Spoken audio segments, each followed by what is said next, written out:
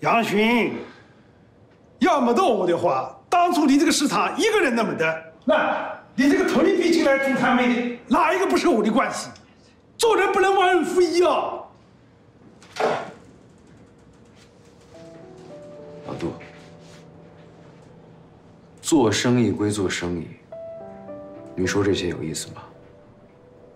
当初不租铺子的是你们，想租的话，现在可以租；不想租的话，不耽误诸位发财。都听明白了吧？想租铺子，回头来找我。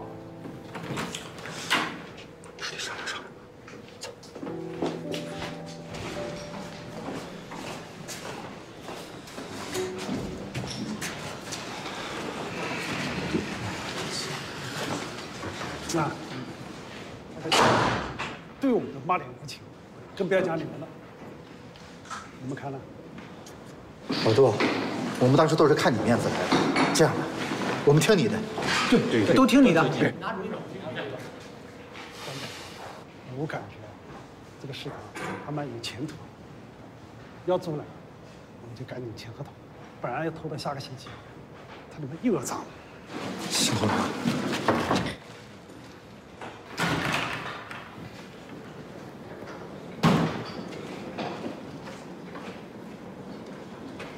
做不做？做呀。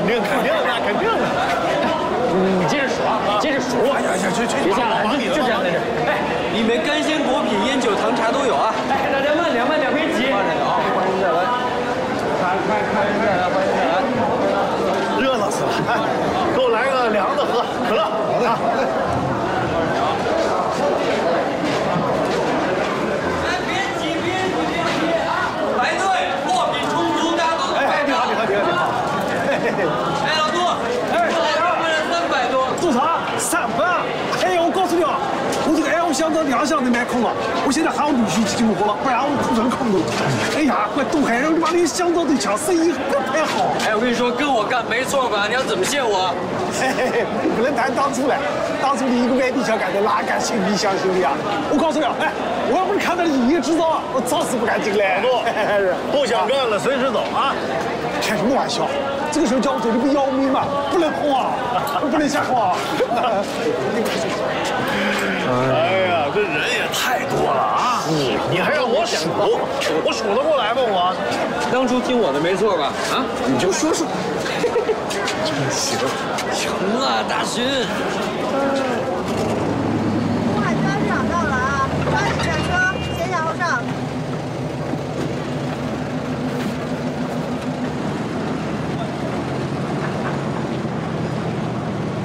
哦，这么大，对啊，还真真好哎。是啊。哎，我们喝点东西吧，好不好？看看是什么？这怎么卖呀？这果汁？两毛一杯，这刚挤完头一杯啊。嫂子，我们要几杯？你怎么来了不跟我说一声啊？我开车去接你啊。宋叔婶子呢？小辉哥一定因为工作忙没有来。但小尹侄女怎么没有来啊？我给她买了好多礼物，都是从上海带过来的。那她肯定喜欢。那谢谢你啊，小颖今天练琴，所以爷爷奶奶啊在家陪她呢。哦，练琴好，练琴好。这两位姐姐也是东海产的吧？对对对，他们两个都是我们东海厂的家属，都是跟着小辉啊从荆州一起过来的。这位就是我跟你们提的杨群杨老板，这个东海批发市场啊可都是他的。厉害。反正呢，大家都是自己人了。你们想买什么呀？一定要跟我说，我去给你们杀价去。你们一看就是知识分子，斗不过那些小商小贩的。好，那我们就先去逛逛。开颜，听说这儿的水产特别不错，要不然一会儿我们去看带鱼。好啊，好啊，我带你们去，就在那边。哎，好，哎，那个你们两个先去逛吧，我跟杨群抢抢情况。啊啊，哦，好，行行，来，走。咱俩找个亲近点的地方。好啊，去我办公室，我给你泡杯茶。哎，好。这次你来，什么东西都不用买，我都给你准备好了，到时候开车给你去拉过去就好了。那你太客气了。没 有。嫂子，请进。你这办公室挺阔气的。前段时间不是诸事不顺嘛，想摆些东西来冲一冲，没想到自从这些东西摆进来了，事情就顺利了。你看我这展销会办的热闹吧？热闹，太好了！我刚才还想说呢，这么多人怎么知道你这地方的？嘿嘿，请先坐。哎哎，不是我小杨吹牛，我跟你说，东海的每一条街道，每一个居委会，我全都通知到了。我以前在东北不是跑街的吗？挨家挨户的卖电器，我就用了这个经验，深入婆婆妈妈之中，才能更好的宣传。真有你的，怪不得人家都说了，小杨啊，天生就有做生意的头脑。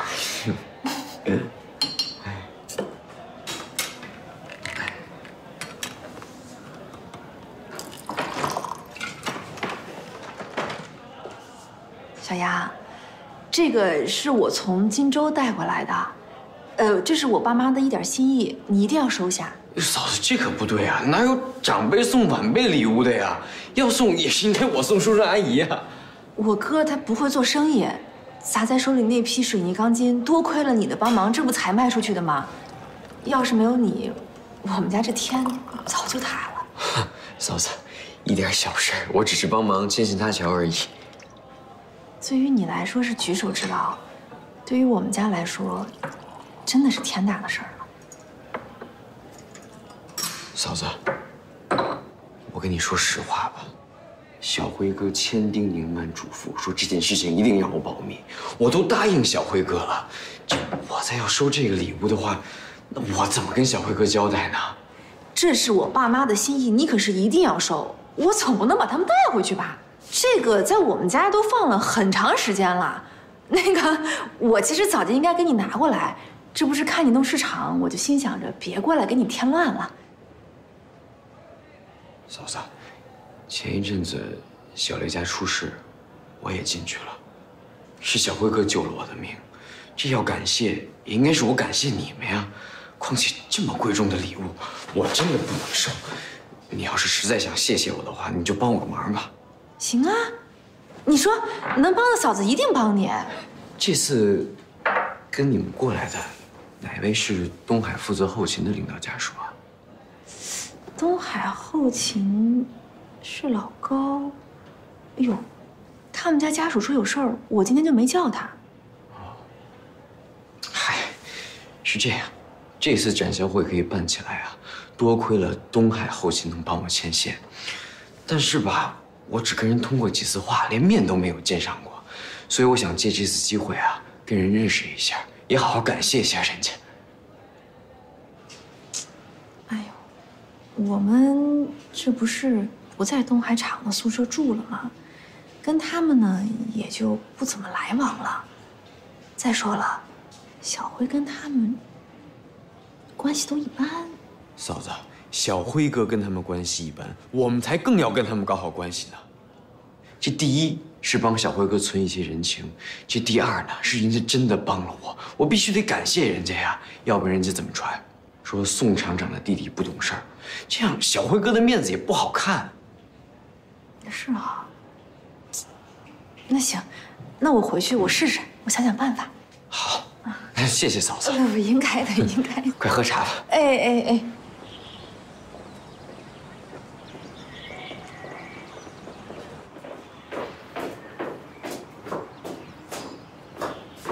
哟，开颜，姐，等急了吧？哎呦，刚来。哎呀，我这一出门可能磨蹭了。都这样。哎，你这衣服是新买的吗？啊。怎么样？好看，还行哈，特好看。上个礼拜在咱们直播大楼买的。真的？哎，哪一家啊？我怎么没看见？回头我带你去。哎呦，这次多亏了高厂帮忙，我的这个展销会啊才可以办得起来。他给我介绍了各种产品的批发商啊。哎呀，这不是宋厂说话了吗？我们老高这个人呐，最服的就是宋厂。哪有啊，姐？刘姐，这次来你想买点什么？我们市场啊什么都有，干鲜果品、烟酒、糖茶一应俱全。喝完茶咱们就去。好啊，好啊。嫂子，如果你累的话，你就在这休息吧，我带刘姐去就行。哎，好。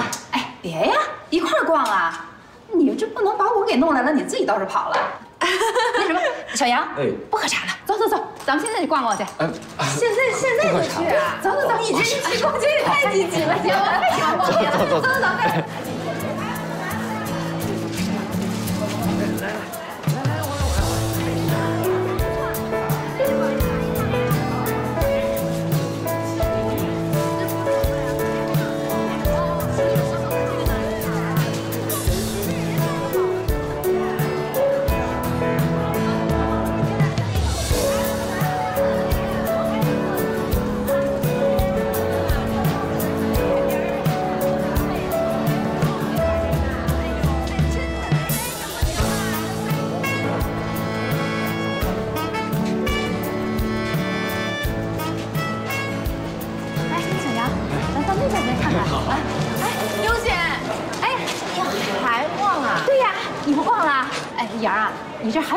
色的东西？带我去看看。刘姐，要不今天就到这儿吧？你要想逛的话，我明天开车到厂里接你去。啊，行。那要不今天就到这儿？哎，差不多了，姐，你看看你买的这些东西。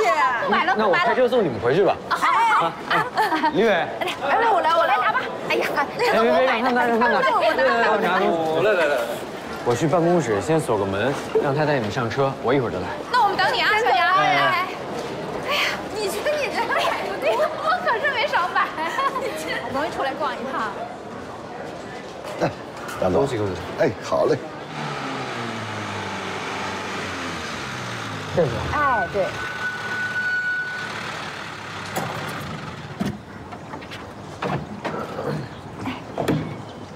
哟，这东西挺多的，要不您搬上去吧？哎呦，太好了！你看我，我这一逛街呀，就收不住，见什么都想买。常来来了以后找我啊！哎，好嘞，好嘞。的人。哎，好。哎，哎呦，来，我来，我来。哎，哎呀，剩下交给我了。好。我要给高厂长买一些礼物，都是一些小东西。哎呦，小杨啊，你有心呐！这都是小东西，随便乱买的。主要是想跟高厂长认识一下。好，好，好。上楼吧，老高应该下班了。关门了，进场了，快点收拾。哎，几个，赶紧的，我睡下了，你多关一脚。你们几个，快点，快点。赶紧收拾啊！快回来了，回来了，回来了。哎，老板回来了。等他们都走了，把门锁好，看好了。行，你放心。老板，杨老板来了。哎，你们这些东西千万别摆这儿啊！马上观察来了，快点收拾啊！杨老板，老姐，今天赚了不少啊！那不都挣点人对不起你啊？杨老板，哎，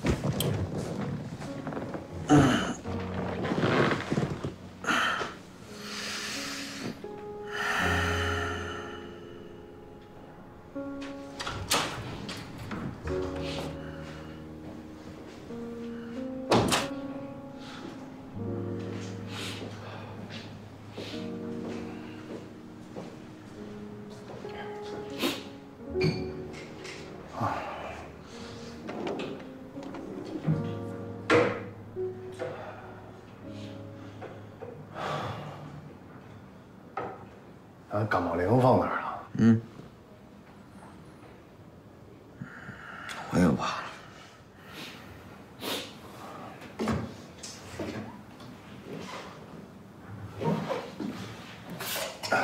怎么了？最近变天，感冒了？鼻子不舒服。赶紧把药吃了啊！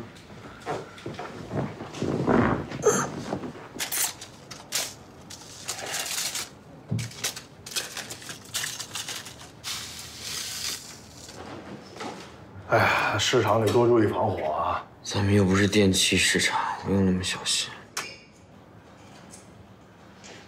你没看到每天有多少人叼着烟卷在那市场里逛啊？我今儿个还看几个老大姐在服装日用的，拿火在这烧棉花。我说这干嘛呢，在这啊？说是要看看这棉花是不是纯棉的。你，哎呀，简直就能气死个人！真是什么人都有。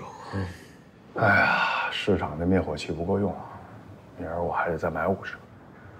嗯，给我钱啊！我懒得拿了，明天早上。一晚上没见你人，你跑哪儿去了？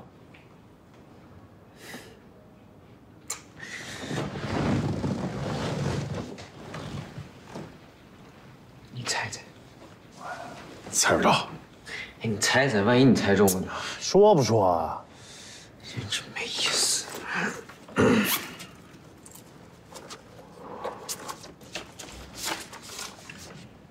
东海厂的元旦福利，就定在咱们市场采购了。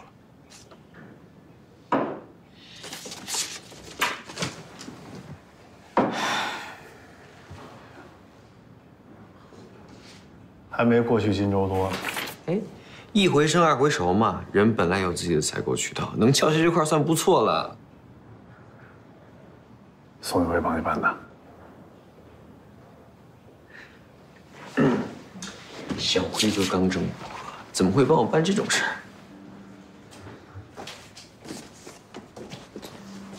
我啊，去找了东海厂管后勤的老高。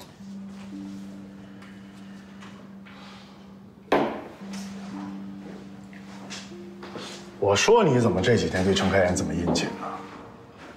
那是他帮你搭的线儿是吧？会不会牵连宋运辉啊？这件事情都没有通过小辉哥，怎么会牵连小辉哥呢？小辉最讨厌他媳妇儿跟那些官太太交往，你干嘛让他帮你搭这个线儿呢？那铺子不都租出去了吗？你差这个钱吗？咱们账上还有多少钱，你清楚吗？马上咱们要连本带利还给肖然大几十万呢。你当时就不应该答应肖然这个条件。大学人我都清完了，你看看要没什么问题，我就送门了。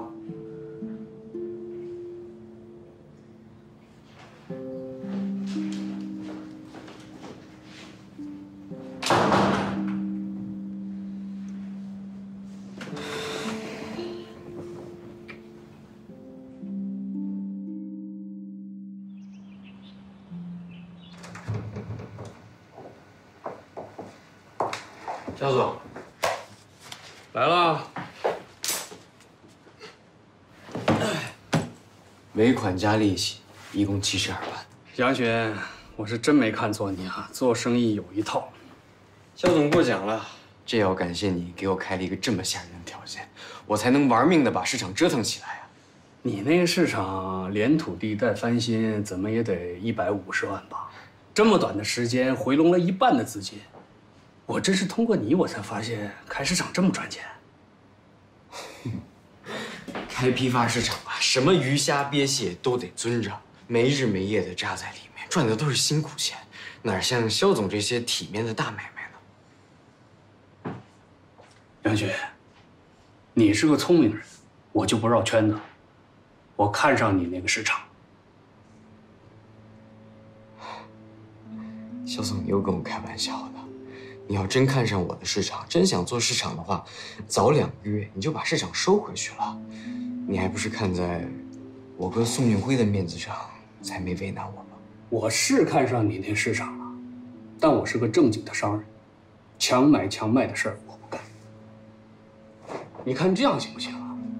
这钱呢，我就不收了，算作我的股份，咱俩合伙怎么样？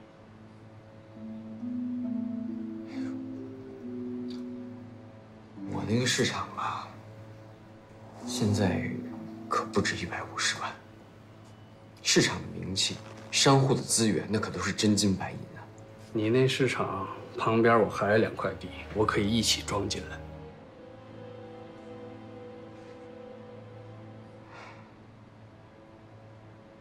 肖总是做大买卖的，怎么突然对我这种小本生意感起兴趣来了？杨雪，我呢以诚相待。我也希望听到你的实在话，就算是你拒绝我，也找个体面的说法。我就是因为动了心，真的想跟肖总合作，所以我才想知道，肖总后面的计划到底是什么呀？这半年里大形势在变，你应该有所体会吧？哎呦，这些我可不太懂，但是我哥宋运辉经常跟我说，所以。勉强知道一些吧。宋厂长是有大局观的人，他自然能够明白其中的奥妙。南方视察之后，我国确立了深化经济改革、以经济建设为中心的路线。民营经济的春天来了，你那个市场大有前途。我哥好像也是这么说的吧？英雄所见嘛，这不意外。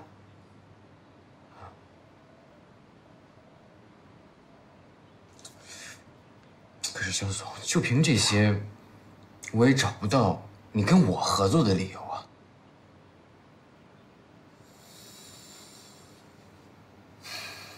行，那我就给你交个底。我呢，在上海做写字楼开发，需要向银行申请贷款。我把东海的几块地一起打包给了银行，但银行的意思，抵押物还不太够。我就寻思，把你那个市场装进来，应该就差不多了。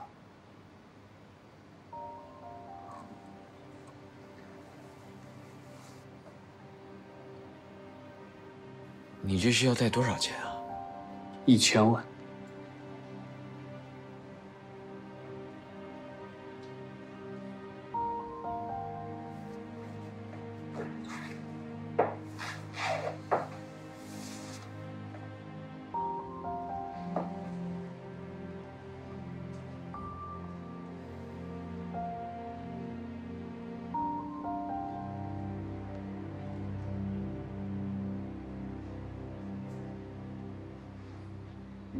还不上这笔钱，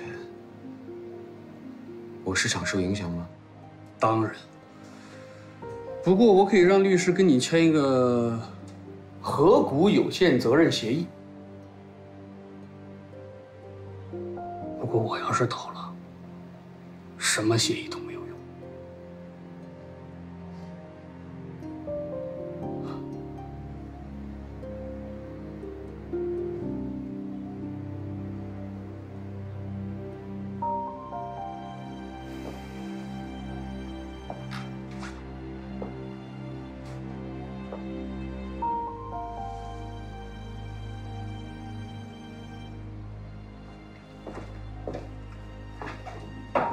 成的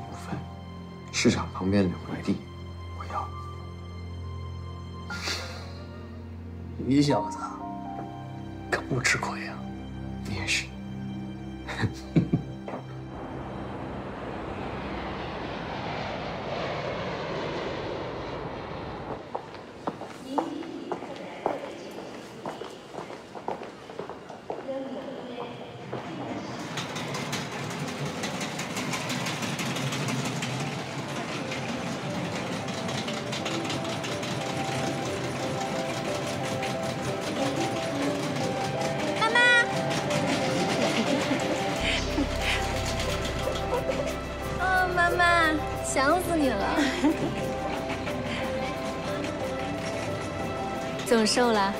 新工作不顺心吗？没有的事儿。我这几个月啊，一直在准备回国考察的事儿，晚上还经常吃东西，还胖了。好几磅。多吃点好。不过女孩子呀，可千万不能熬夜，会影响皮肤的。妈妈，嗯，作为一名事业女性，皮肤好坏这件事儿，从来就不在我的议事日程上。你就仗着自己年轻，等过两年看看，你还敢不敢说这种话？嗯。爸爸今天怎么没来接我？你爸爸临时有个电话会，来不及赶到上海接你。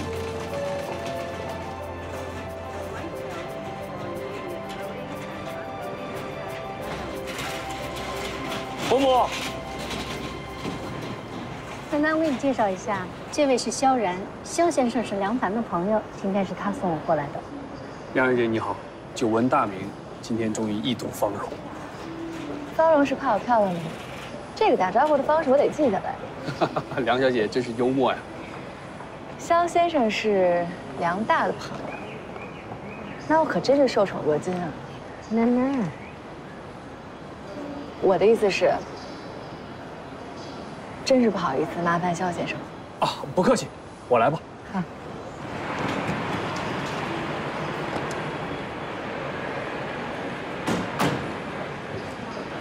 我没来晚吧？哎，交给你。小七，欢迎回国。谢谢。梁大，你这排场搞得也太大了。哎呦，小婶儿，您不懂，这都是他们美国的规矩，对吧，小七？梁大居然还亲自卑躬屈膝的来了，我该怎么说？不胜惶恐。你说这孩子呀，嗯，去年回了趟国，小时候学的那点中文啊，全捡回来了。小七这成语用的是真好啊！看来这人呢，出去我是不一样。我看你也不错，这车去年在美国才上市吧？你这就已经开上了，还买了两辆。开公司嘛，没几辆好车怎么能行啊？对吧，萧然？梁小姐在美国一定见过不少豪车，别班门弄斧了。不是，甭管怎么说，这车它最起码宽敞。为了让小七体验到宾至如归的感觉啊，我也是用心良苦。哎，你堂哥我这套成语用的还行吗？哎，行行。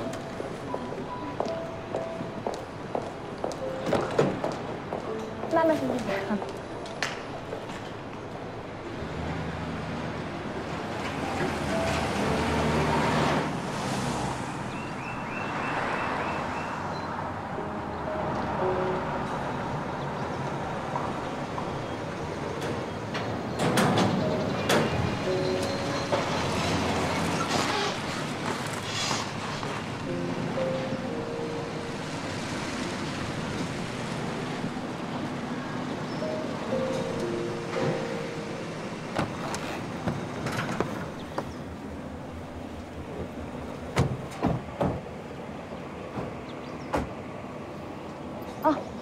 行李就不用拿了。我在华庭宾馆订了两间房，晚上跟爸爸妈妈去那边住。不是吧，小七，爷爷家这么多屋，跑去住宾馆？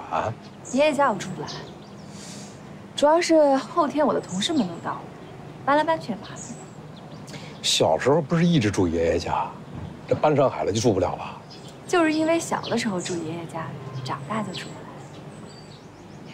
杨大，私生担心吵到爷爷，他在倒时差，作息啊和我们不一样的。小婶，爷爷他耳背，不怕吵。小七，我知道你要回来，可是提前三天就让阿姨把这房间打扫干净了。我还亲自到外贸商店给你买了真丝的床单跟被罩。哎，好好好，就算是比不了你国外的大别墅，你怎么着也得赏耳光吧？那没问题。那我把真丝床单带去宾馆呗，你介意吗？要不我们先在爷爷家住一晚，明天你再搬到宾馆好了。妈妈，两间房我都是预付费的，退不了。梁凡，梁小姐刚刚坐了长途飞机，一定很累。你这个时候跟人辩论，胜之不武啊！行行行，就你懂怜香惜玉。那你们先进去吧，我跟妈妈说两句话。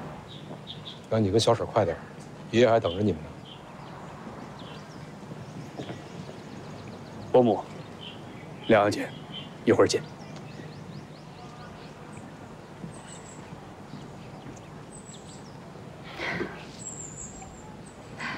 还当着外人呢，你给梁大留点面子。刚刚梁大说他要开公司，他是打算要出来做生意了吗？对，最近政策放开，梁大打算在上海做写字楼。这个萧然啊，是他的合伙人。看来中国经济真是要发展，连梁大这种大少爷都坐不住。但是他做商业地产。又跟化工没关系，我又没法给他投资，他干嘛跑过来巴结我呢？人家对你热情一点就是巴结了。妈妈，嗯，梁大什么时候把我们家放在眼里过？去年我回国，他是连面都懒得露一下。你现在出息了吗？连爷爷都专门为你办了接风宴，谁还会看不起我？这倒是。现在怎么说，我也算是荣归故里，扬眉吐气，爷爷再也不能无视我。但是梁大这个转变也太大了，总觉得哪里有点不对劲。哎，那个成语怎么说来着？呃，无事献……妈妈求求你不要再说成语。妈妈，那这还不是外公做的好事儿？说是不能忘本，天天逼着我和表姐背古文。又没有人给讲解，最后学了一个驴头不对马嘴。小七回来了，爷爷，爸，哎，快进屋，快进屋。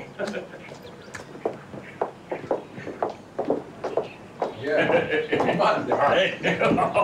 哎呀，你可回来了。爷爷，想爷爷了吗？嗯。累了吧？还行。我怎么听老大说你要住外面？家里都给你预备好房间了，搬回来住。坐坐坐坐，来坐。哎，梁爷爷哟，萧然也来了。你爷爷身体好吧？好着呢，还托我问候您。哦，好，好，好，好。哎，哎，道林呢？道林怎么没来？他们总行临时有个电话会议。私生爸爸这一集必须参加，现在已经结束，往上海赶了。哦，呃，告诉厨房，菜慢点上啊。爸，道林说等二哥三哥到了先开餐，不用等他。啊，今天就请你们一家，没他们什么事小婶儿，今儿小叔可是主角啊。对了，待会儿你到我房间把那瓶茅台酒拿下来，给你小叔喝啊。好嘞，爷爷。哎，今天不是我的接风宴吗？爸爸什么时候抢了我的位置？哦，今天这餐饭呢，有两个主题。这第一呢，就是表扬你把外国人的资金带回来，报效祖国，有本事有出息，没忘本。这也是因为啊，你爸爸妈妈教子有方，这一功啊记在他们身上。那第二个主题呢？第二个主题就是庆祝老大和萧然的公司正式成立。你爸爸作为长辈，主动为他们提供贷款，支持梁家第三代的事业。你说，你爸爸是不是比你更合适作为今天这餐饭的主角啊？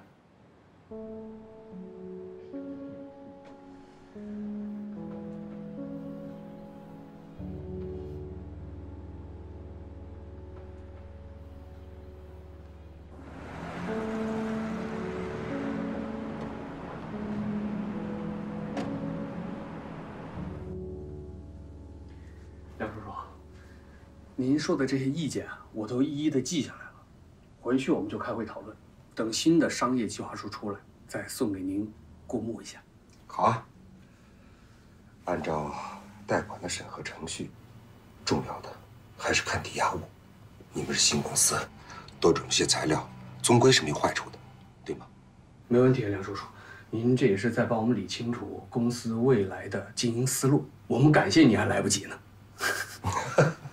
哎呀呀呀！怪我怪我，这茶怎么能喝呢？不好喝吗？不好喝。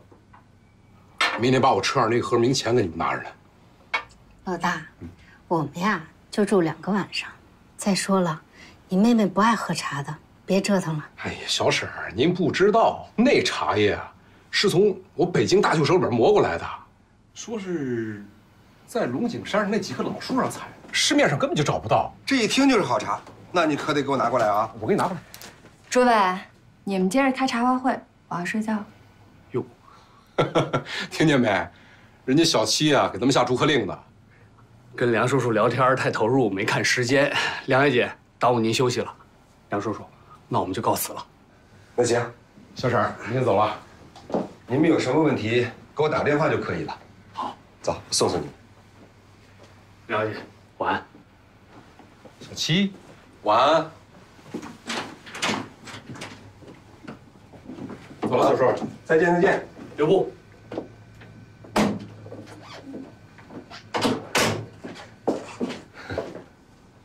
怎么样，累了吧？要不然咱们就早点休息吧。爸，你干嘛要给梁大他们贷款？这话忍了一晚上了吧？伦敦啊，这次进步很大，终于没有在爷爷家就爆发。妈，你还笑？你还帮着他们瞒着我。我想到那句成语怎么说？不是献殷勤，非奸即盗，说的就是梁大他们这种人。这事儿啊，你可不能怪妈妈，是我让她不要告诉你的。难怪梁大说他小的时候得罪过我们家墩墩，现在啊，还怕着你呢。爸，来来，你给我坐下。走。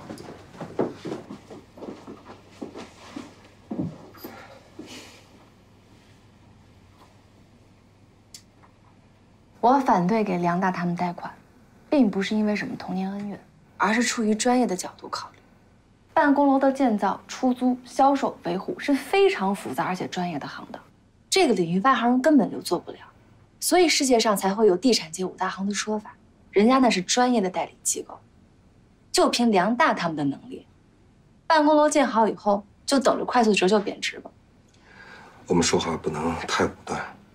关于如何盈利的事儿，我问过萧然，萧然的思路很清晰啊。萧然想要出租赚长线，思路是没有错的，可是该如何出租呢？整租还是分租？如何筛选出优质的租户？如何划分办公区域和商业区域？如何最大限度地吸引人流量，还能保证租金最大化？这些他们懂吗？中国经济最大的特点就是高速增长，尤其是南巡讲话后，政策大利好释放出来，增长可以说更加的快速。萧然和梁大在这种时候敢于下场，本身就领先了其他的竞争者了。爸，你太乐观了。我们华尔街有一句名言。别人贪婪是谨慎，别人谨慎是贪婪。越是市场好的时候，就要越懂得规避风险。我知道，梁大，他有爷爷，还有他外公做担保，当然还有大伯家里那些职级非常高的亲戚，他们有的是权利和办法保护梁大不受伤害。但是 business is business，梁大不受伤害，不代表爸爸放出去的贷款就安全了。你说的这些。对于梁大和萧然他们很重要，我会提醒他们树立规避风险的意识。爸，我是要你规避风险。梁大他们是死是活，鬼才关心呢。我知道，我知道，你是为了爸爸好，可这件事儿你也清楚啊。爷爷出面了，爸爸总不能连爷爷的面子都不给吧？再说了，即使梁大不成器，那萧然也挺精明的呀。萧然越是精明，事情就越是危险。嗯，真正遇到大的风险的时候。萧然这个人一定会把梁大给卖。